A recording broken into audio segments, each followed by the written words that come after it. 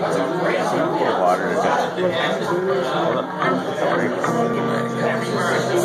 Well, actually, it's not bad water that. You know, it doesn't, it's not like, you know, chlorine, chlorine water.